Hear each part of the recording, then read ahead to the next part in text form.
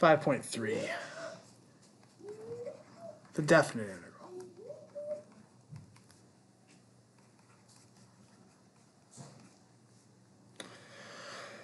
So, the definite integral you're going to see is related to the uh, indefinite integral or the antiderivative, and it's got very similar notation. So, when looking at its notation, what we'll see is it says the integral from a to b of f of x dx. Now, this thing is still called your integral sign. This is your lower your lower limit of integration. Lower limit of integration. Uh, this is your upper limit of integration. And uh, this dx here, this tells you your x is the variable integration.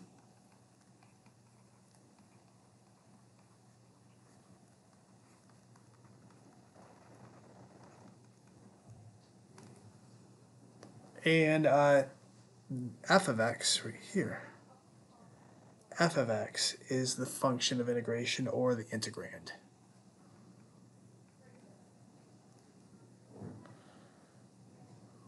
The function is called the integrand.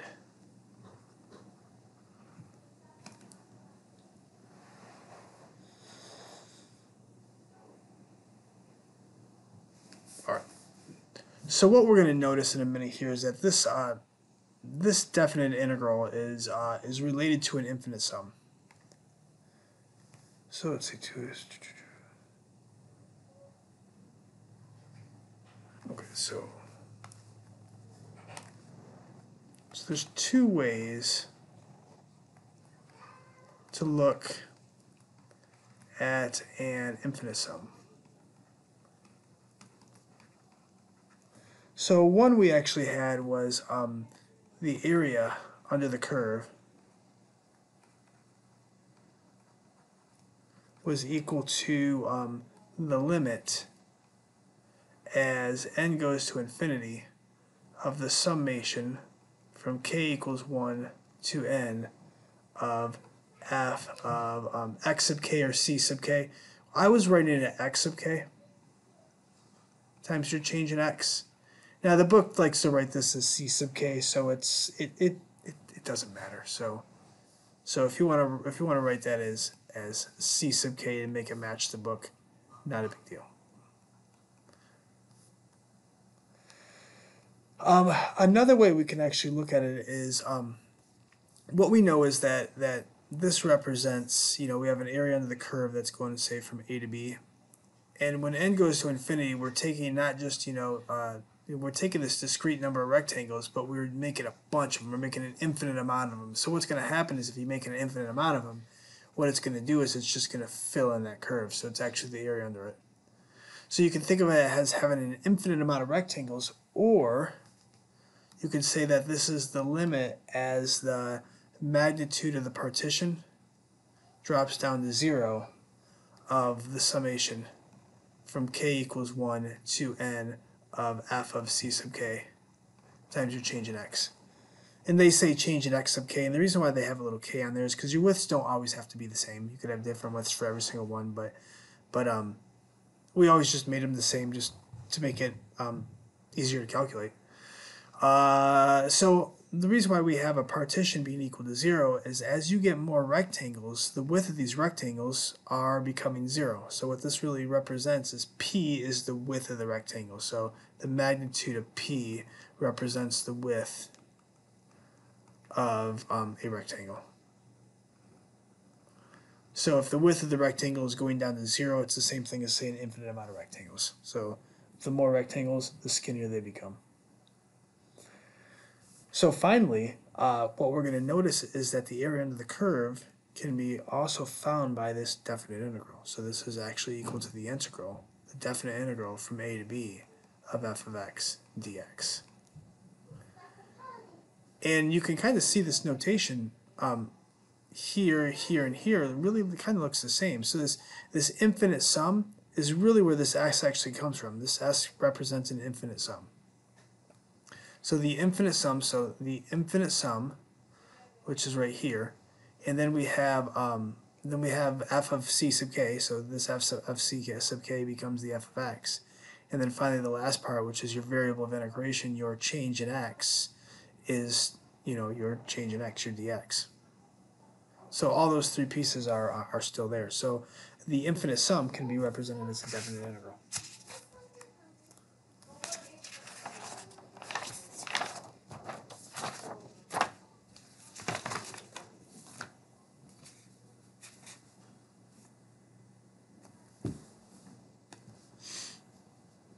So, um, theorem.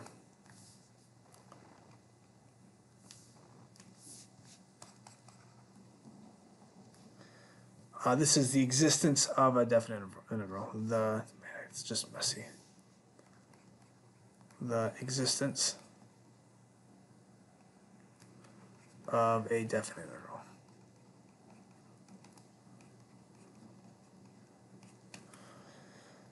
So a continuous function is integrable which means it has a definite integral. That means um, that means if it's uh, if it's continuous on the closed interval, then then um, then the definite integral exists. So a continuous function is integrable. Uh, another theorem. These are our rules. I have enough room with this. I don't. Ah, whatever. I'll just I'll just continue. So um, when f and g are integrable on this closed interval a to b, then the following are true. So one order of uh, order the order of integration. So order.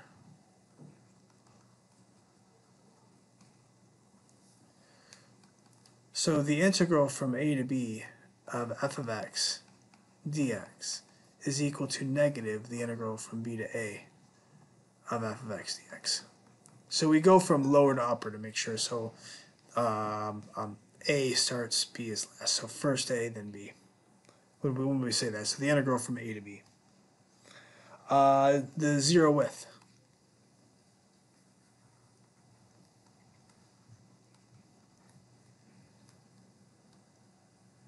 Interval. Interval.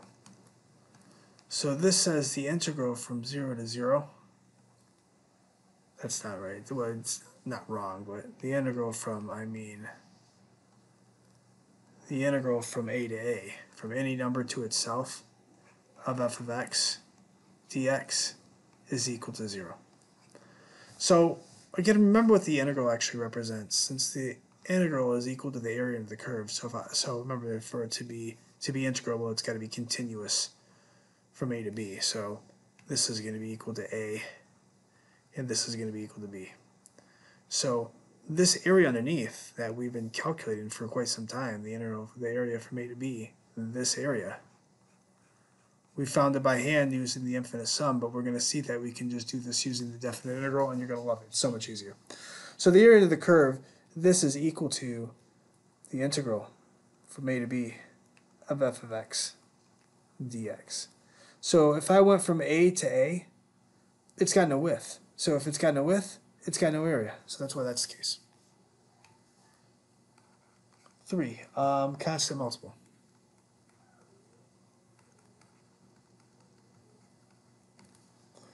So it says the integral from a to b of k times f of x dx is equal to k times the integral from a to b of f of x dx which is something we've been doing with limits and derivatives and summations and, and now integrals.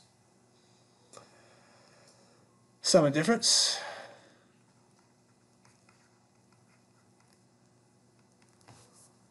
The integral from a to b of f of x plus g of x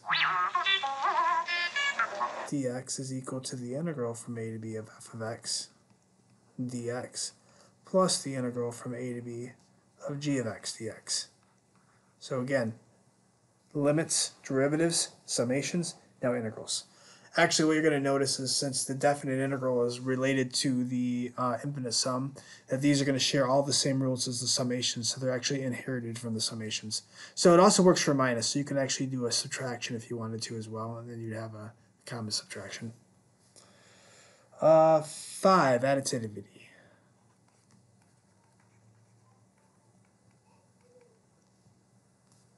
So um, what this says is the integral from a to b of f of x dx plus the integral from b to c of f of x dx is equal to the integral from a to c of f of x dx.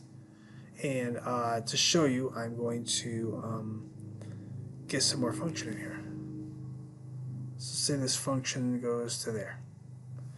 And this new value, arbitrary, but new value over here is c. So that means we have a new area. So um, this area right here, well, let's do it. So this area. Right here that would be the integral from b to c of f of x dx. And what's nice is um, if you add these two pieces up, you're going to get that entire area. So why even stop at b? That means you can go all the way from a to c. So that's going to be the integral from a to c of f of x dx.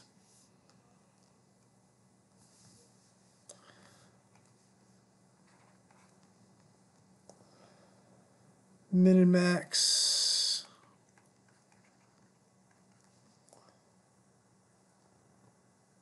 So what do we want to call it? So if f has, so if f, come on now.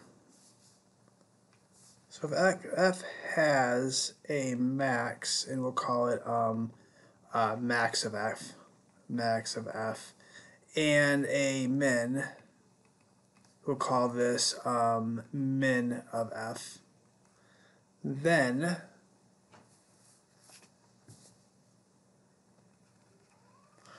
then um, the integral, what we have it? Uh, I, I, can do this. So then uh, b minus a, the min of f multiplied by b minus a is going to be less than or equal to the, no, I like how that, where that was, less than or equal to um, the integral from a to b of f of x dx, which is going to be less than or equal to the max of, um, of f multiplied by that same interval from b to a. So uh, let's use, let's use what we have up here again. So I'm going to kind of get rid of some of these colors.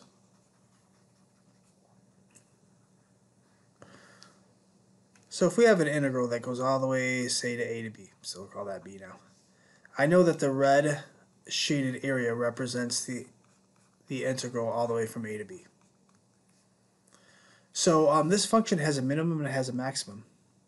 Its minimum value is right here. That's its minimum value. And we know how to find those.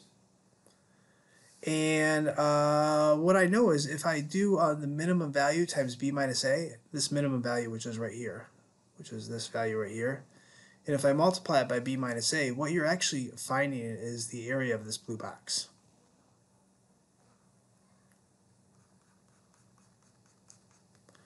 Now the function also has a maximum value, and that maximum value is going to be up here. This is its maximum value. Let's use a different color, but I'm kind of out of them a maximum value. And uh, if I if I multiply the max of f times b minus a, what I'm actually getting is this bigger rectangle. It's way up here. This is the big rectangle. I'm trying my best not to make it too messy. What you will notice is that the integral underneath the curve is going to be bounded by the lower box and the bigger box. That the that the area is going to be between those two areas. So the idea is the smallest the area could possibly get would be the smallest box, and that would happen if you had a horizontal line. If the function was just this blue horizontal line right here, or I guess I made it green by accident, but this this blue horizontal line right here. Then the box and the area would be the, the same, but if uh, the function was this upper horizontal line, then it would just be equal to it. So no matter what, it's going to be um, it's going to be bounded by the smaller box and the upper box. That this this function in the middle is going to be bounded by those.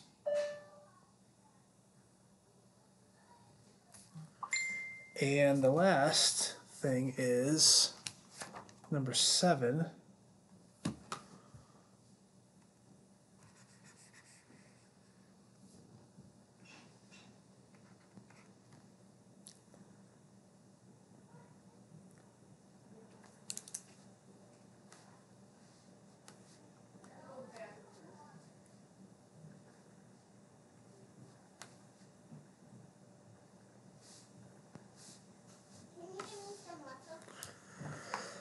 The last thing is it's uh, called domination. It is. Can you give me some lots I can't, little buddy. Mom will do it in a second, okay? If f of x is greater than or equal to g of x. Ava, please be quiet, okay, honey? I'm, I'm recording. If f of x is greater than g of x for all x, then what I can guarantee is that um, is that the integral from a to b of f of x dx is going to be greater than or equal to the integral from a to b of g of x dx. Which kind of makes sense. If you have a bigger function, you're going to have, you know, if your function is larger, which means it has a larger y values for all of them, then the area under the curve is going to be bigger. Which is always going to be greater than or equal to zero. These things are positive. Now, uh, that's not true. Why did, I, why did I say that? Oh, my bad. Let me erase that. That's not true. That's only true as if um, if f of x is always greater than zero, then you're always getting a positive. But it is possible you get a negative. Uh, you get a negative integral, and I'll explain why that happens. All right, so I guess before we practice these rules, let's. I want to make sure not to forget to show you a couple of the examples that look like the book. It uh, asks you to um, example would be express as a definite integral, and it should have happened before I showed you all those rules because it would have made more sense. But um, a, if I say, what's the limit as the partition goes down to zero of the summation from k equals 1 to um, n of 2 times c sub k cubed times your change in x sub k? Well, um, what they're trying to get you to understand is that we've already done this by hand, except we had limit as we had limit as x goes to infinity there instead, but we know it means the same thing. So this is the same thing as the definite integral from a to b. Uh, oh, actually, they they told us a um, they did tell, and I forgot to write something else. So this is going to be on on an interval interval from negative 1 to 4. So our solution, which is going to be written as a definite integral. So express as a definition, uh, express as a definite integral.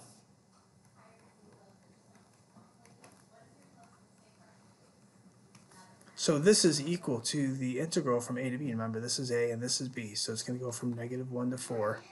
This um, limit of that summation becomes that integral part. This piece right here. And that 2c sub k cubed is going to become um, 2. Remember what c is. c is um, just your x sub k, so it's just x cubed. And then your change in x, the change in x becomes dx. So there's your function and there's your change in x. So it's really it's really straightforward. This infinite sum, this infinite sum becomes your integral. Uh, the 2c sub k cubed becomes 2x cubed, and then your um, change in x becomes your dx. So uh, b, what if I do the limit as the partition? I don't know why they change it. Partition goes to 0 as opposed to n goes to infinity. I like the n goes to infinity more because we just did it. And this is going to be, say, the square root of um, 9 minus c sub k squared uh, times your change in x k. So um, this is going to be equal on, uh, say, uh, minus 3 to 3. So this is going to be equal to the integral from minus 3 to 3 of, remember that integral comes from this part, then your square root of 9 minus c sub k squared, so x squared, and then your dx.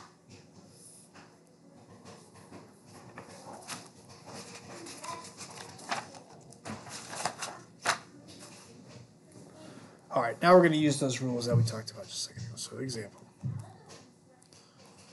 Using the rules of definite integrals, or for definite integrals.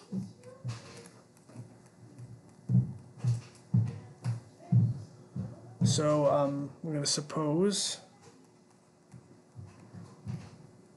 f and h are integrable.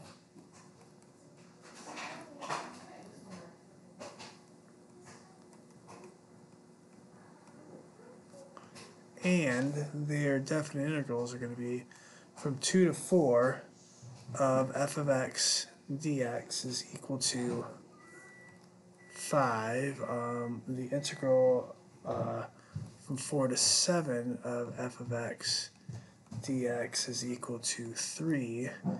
And the integral from 2 to 4 of h of x is equal to, let's go, minus 1. Now, I did say they could have negative integrals, and what that would happen is if the if the curves if the curves underneath the function and you calculated this area here, what it would spit out is it spit out a negative area because it's below the x-axis because f of x is negative. So it is possible to have a negative definite integral. You just have to know what that means. All right, so um,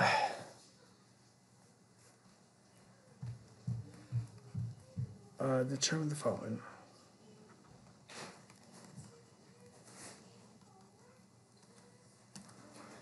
A, um, what is the integral from minus 4 to 2 of f of x dx?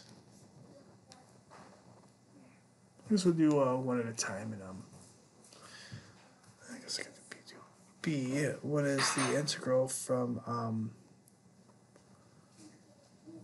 from 3 to 3 of f of x dx?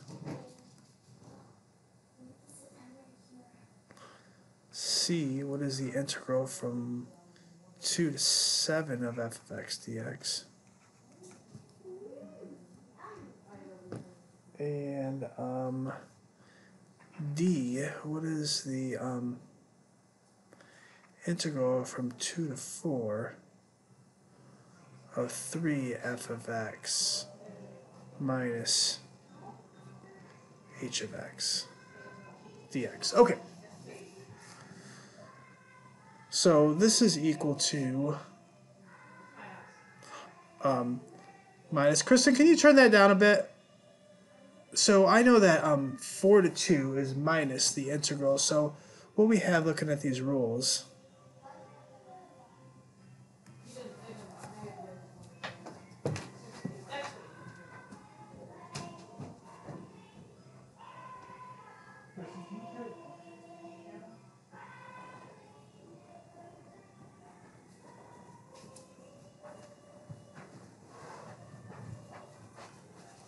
So what I know is when when you um have different limits of integration, when you switch them, what you do is you introduce a negative sign. So that's this rule right here. So uh, we want this one. So this is going to be so from 4 to 2 is going to be minus the integral from 2 to 4 of f of x dx, which is going to be negative. Now remember that this area right here is equal to this to 5. So this is going to be negative 5. Uh, the integral from 3 to 3 of f of x dx. Now if you're looking up here, I don't see any 3's as far as your limits of integration, but notice that you go from 3 to itself. So what it means is you're integrating over uh, over a zero width interval, so the total area is going to be equal to 0. Now the integral from 2 to 7. Uh, well, I see I have the, from f of x, I have the integral from 2 to 4. And I also have the integral from 4 to 7 of f of x dx. So the integral from 2 to 7 of f of x dx should be equal to the integral from 2 to 4 of f of x dx plus the integral from 4 to 7 of f of x dx. That this represents just the interval from 2 to 4. This is the interval from 2 to 4. This would be the interval picking back up at 4 going all the way to 7.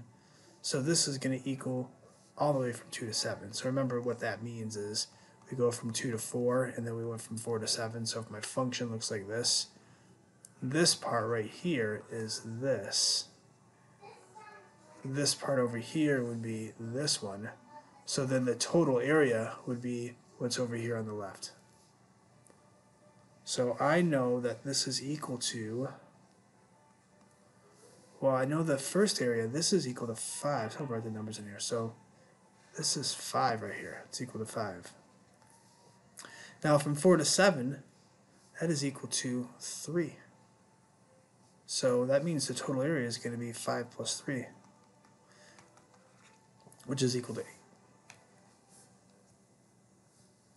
Now, um, this really is using the linearity rules of, uh, of summations, that the integral of the sum is the sum of the integrals, so you can go from 2 to 4 of 3 times f of x dx uh, minus the integral from 2 to 4 of h of x. So the integral of the difference is the difference of the integrals. And the last thing you can do is you can pull out constants. So 3 times the integral from 2 to 4 of f of x dx minus the integral from 2 to 4 of h of x dx. And now you can make substitutions. You know the integral from 2 to 4 of f of x dx, this value is equal to that, uh, that 5, so that's 5. And then you know that this value of h of x is over here, it's equal to negative 1, so 5 minus a negative 1, which would equal to 6.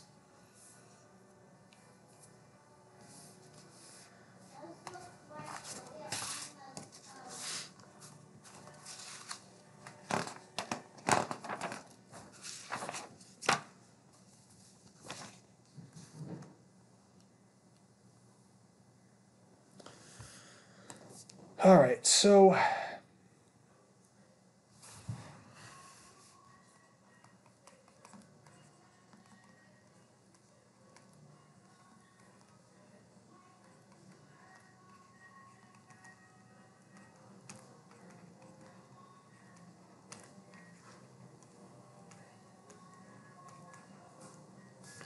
So determine the definite integral geometrically.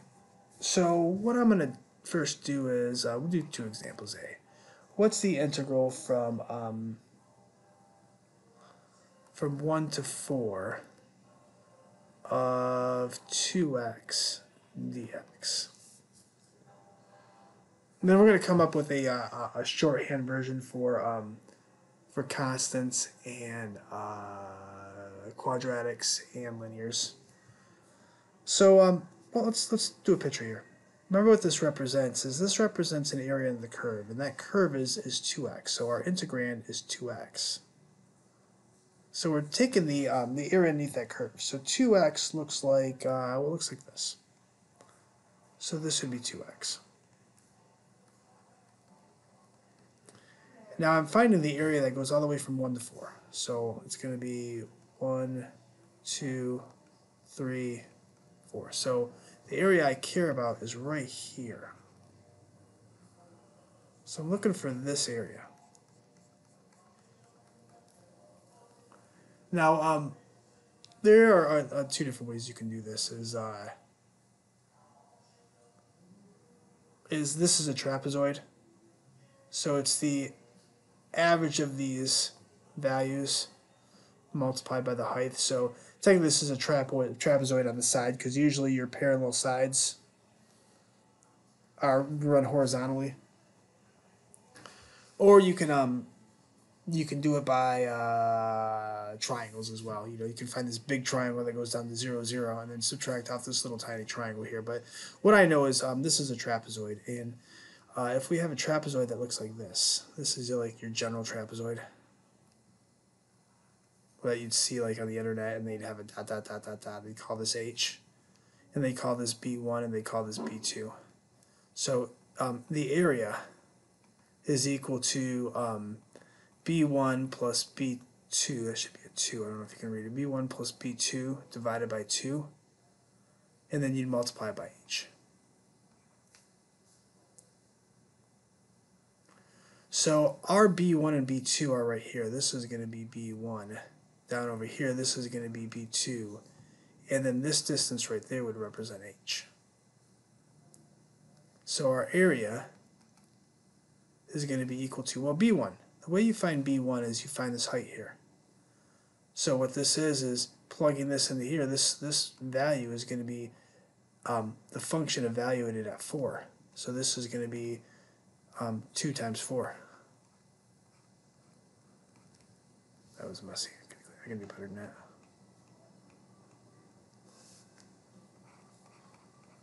So it's equal to 8.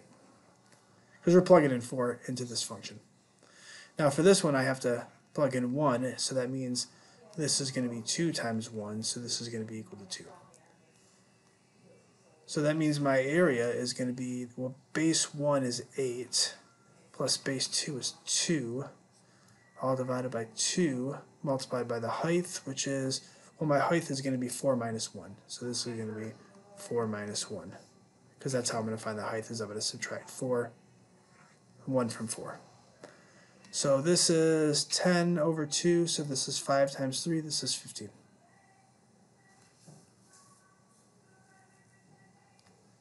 Now, there's other ways you can do it, but it's a trapezoid. I find that probably the easier way to do it.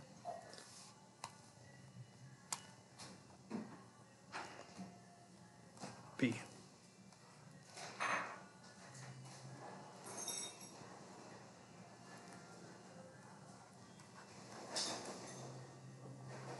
Alright, so I'm going to draw a picture of this.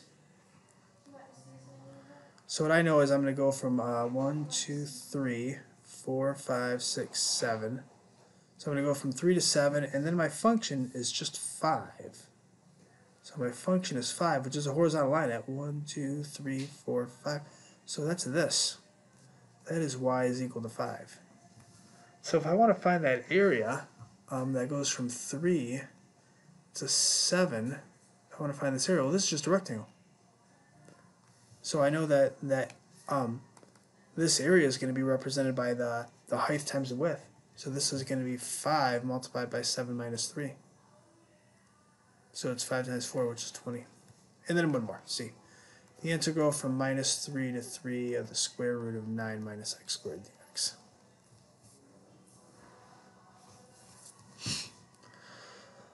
All right, um, let's investigate y is equal to the square root of 9 minus x squared. So what I'm going to do is I'm going to kind of square this and make it look like something that's a little more recognizable. So when I square it, I get y squared is equal to 9 minus x squared. And when I add x squared to the other side, I get x squared plus y squared is equal to 9.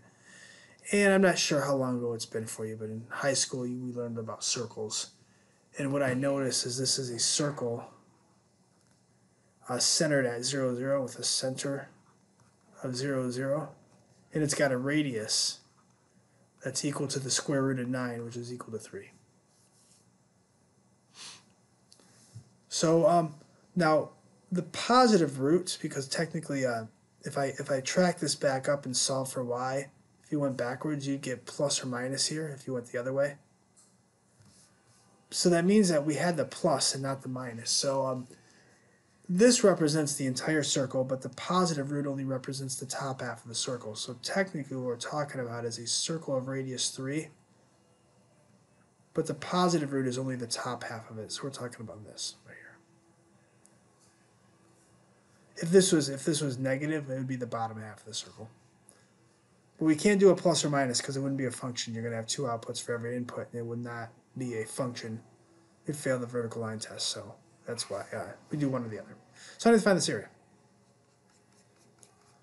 Well, this is a semicircle. So um, remember the area of a circle. Area of a circle is pi r squared.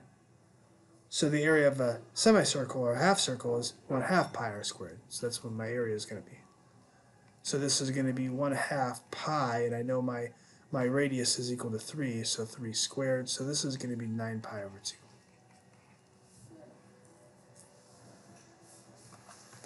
So this whole section is to explain what these things are, and um, and now we can find them geometrically. Um, in the next section, we're going to come up with a basic rule to be able to find all of them. So they give us a couple. Um, they give us a couple formula in order to find some uh, uh, definite integrals.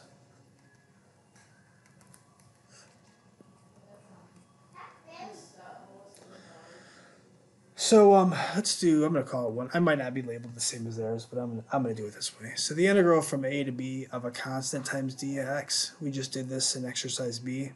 This is equal to c times b minus a. Uh, two, the integral from a to b of x dx. And this is going to be equal to um, b squared over 2 minus a squared over 2. And 3, the integral from a to b of x cubed dx. I lied, x squared dx.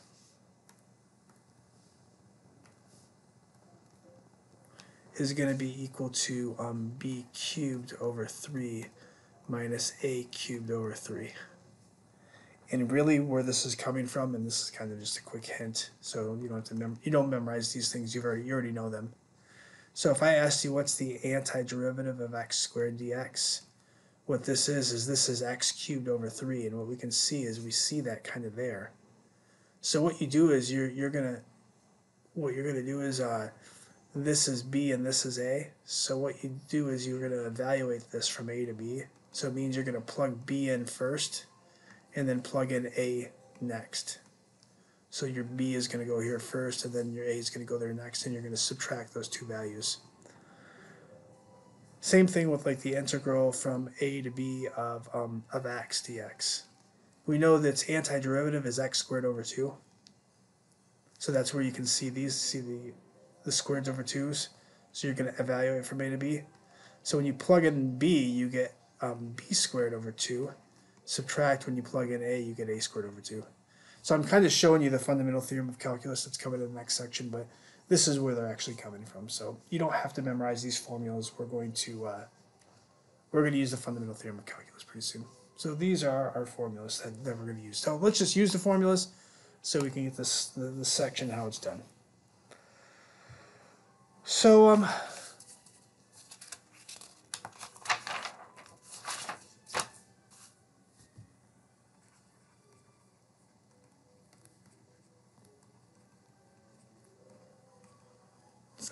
so, um, A, the integral from 2 to 5 of, um, of 7x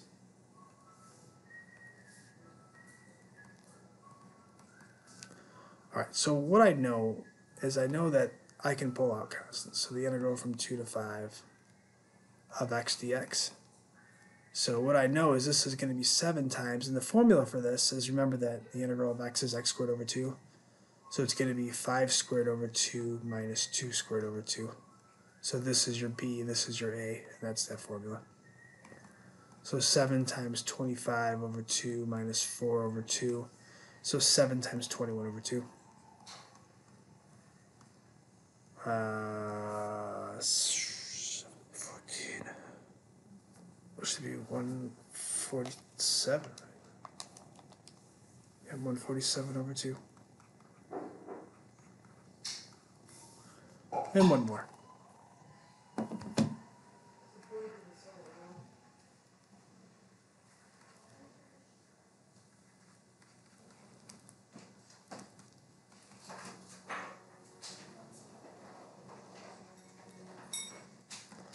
All right, so the answer to this, and we're going to have to work it out, is um, the integral of the sum of the difference is the sum of the difference of the integrals. From the integral from 0 to 4 of 3x squared dx minus the integral from 0 to 4 of 2x dx plus the integral from 0 to 4 of 8 dx. Now, just like what we were looking for with the with the summations, is I'm only looking for x squareds and x's and constants. So that means I'm going to pull out all these constants. So 3 times the integral from 0 to 4 of x squared dx minus 2 times the integral from 0 to 4 of x dx. And then plus um, 8's already a constant, so we're done. Integral from 0 to 4 of 8 dx. Now we know the rules. This is going to be 3 and um, remember the antiderivative of x squared is x cubed over 3, so it's going to be 4 cubed over 3 minus 0 cubed over 3. Minus 2, remember the antiderivative of this is x squared over 2, so it's going to be 4 squared over 2 minus 0 squared over 2. And then for this one, remember the integral of this is 8 times x. So it's going to be 8 times, well, when you have x, you're going to plug 4 in there and then 0 in next. So it's just 8 times 4 and um, then we're done.